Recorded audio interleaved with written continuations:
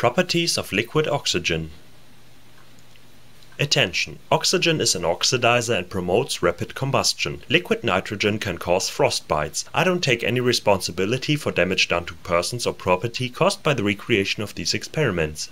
For the preparation of oxygen, some manganese dioxide was added to a round bottom flask. A pressure equalizing dripping funnel was placed on top which was filled with 30% hydrogen peroxide but 3 to 10% would have been better. At the beginning the apparatus was left open.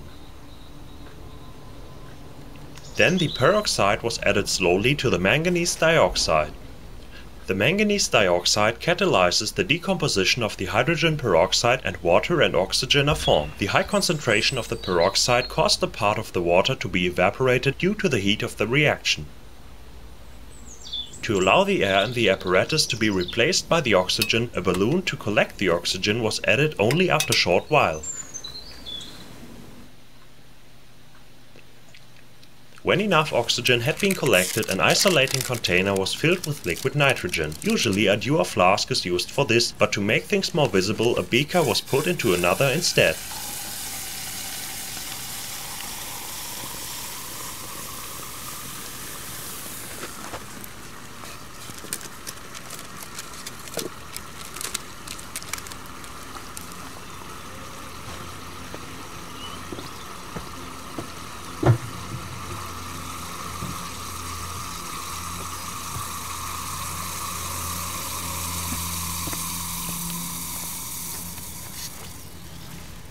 The balloon was placed on top of a test tube which had been poked through a styrofoam plate. The plate isolates and keeps the test tube in place.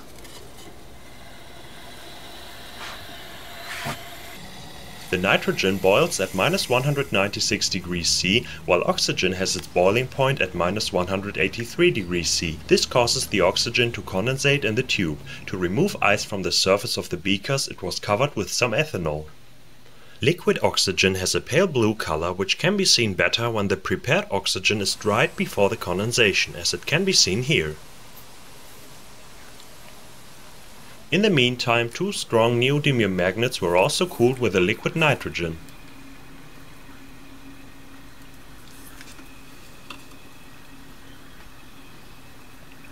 Then the oxygen was poured onto the magnets.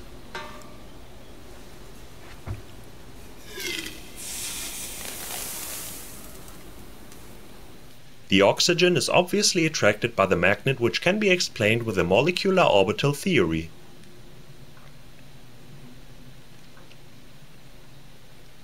For the oxygen the diagram looks like this. To the left and right are the atomic orbitals of the two oxygen atoms which can be used to form molecular orbitals. Both of the s orbitals of the oxygen atoms provide two electrons each, so the bonding and anti-bonding orbitals are filled with electrons, leading to no bond.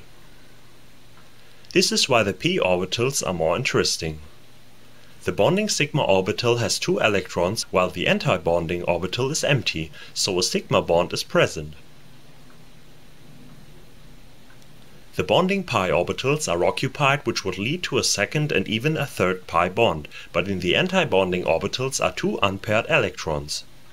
These are the reason why oxygen is paramagnetic and attracted to a magnet. This also means that oxygen doesn't have a second bond in reality but two unpaired electrons. That's why oxygen is a diradical and quite reactive. As a comparison, the simplified diagram of nitrogen is shown which has no electrons in the anti-bonding pi orbitals, so it is diamagnetic and thus not attracted to a magnet or more precisely slightly repelled. The reactivity of oxygen can be shown by reacting it with cotton wool.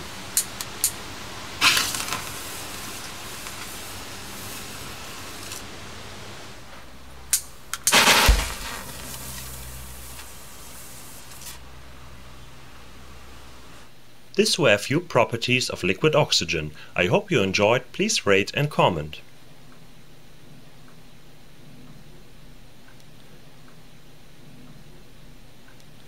For more reactions with liquid gases or highly reactive chemicals I'd recommend you to take a look at the channel Chemical Force. I'm subscribed to it for quite a while now and was often amazed. Here you can see a lot of videos about compounds that most chemists only have read about. And there is a large amount of reactions many wouldn't even dare to try out. So if you're interested in the reactions and properties of exotic, expensive or highly reactive compounds take a look at Chemical Force.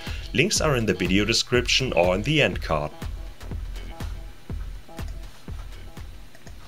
If you want to see another method of preparing oxygen, you can watch my video here, or you can watch my latest video here. The channel Chemical Force can be reached here. A big thanks to my supporters on Patreon.